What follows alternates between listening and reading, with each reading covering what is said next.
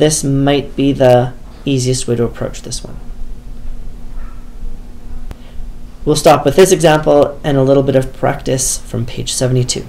Good luck!